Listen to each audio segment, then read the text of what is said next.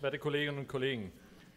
Die meisten Abgeordneten, so habe ich das verstanden, äh, stimmen unserer Initiative zur dualen Ausbildung zu. Finde ich auch sehr gut so. Die Vor- und Nachteile haben wir jetzt intensiv diskutiert.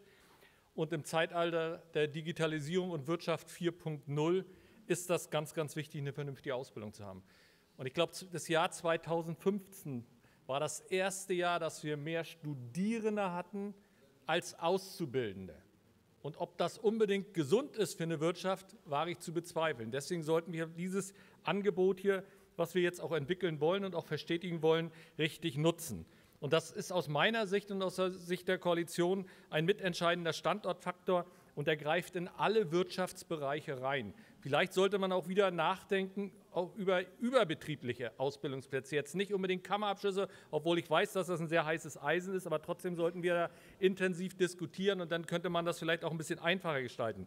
Deswegen sind alle gefordert. Ich habe gesagt, Kammern und Verbände, die kleineren und die größeren Firmen, die Landesregierung, die allgemeinbildenden Schulen, die beruflichen Schulen, die Schulträger, Kommunen und Landkreise selbstverständlich aber auch die Schülerinnen und Schüler.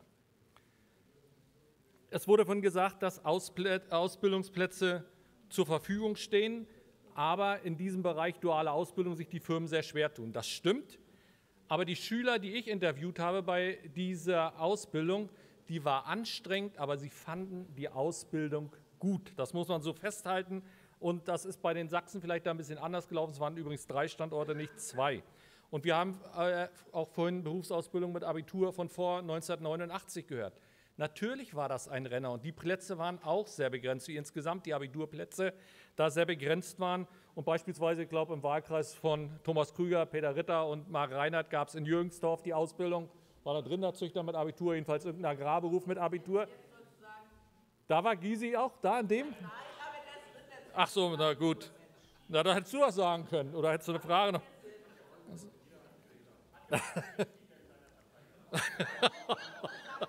Na gut, das kommentiere ich jetzt hier nicht. Und wie gesagt, wir sollten die Erfahrungen, die aus den Schulversuchen äh, dort vorliegen, auch bei uns im Land intensiv nutzen und auch die Erfahrungen in den, aus den Auswertungen aus den anderen Ländern. Wenn wir die duale Ausbildung wirklich in unserem Land wollen, dann werden wir Wege finden. Und wenn wir sie nicht wollen, dann werden wir natürlich auch Gründe finden. Und das ist das ganz eindeutig, das muss man auch so festhalten.